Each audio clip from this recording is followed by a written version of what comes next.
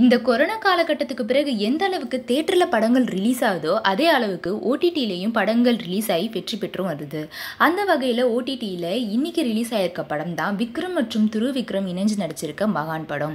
இந்த படத்தை பொறுத்த வரைக்கும் மக்கள் கிட்ட பாசிட்டிவ் கமெண்ட்ஸும் இருக்குது நெகட்டிவ் கமெண்ட்ஸும் இருக்குது பாசிட்டிவ் கமெண்ட்ஸ் என்னன்னா இதில் நடிச்சிருக்க எல்லா ஆக்ட்ரஸுமே அமேசிங்காக நடிச்சிருக்காங்கன்னு அவங்களோட வேற லெவல் பர்ஃபார்மன்ஸை இதில் பார்க்க முடிஞ்சதுன்னு சொல்லியிருக்காங்க.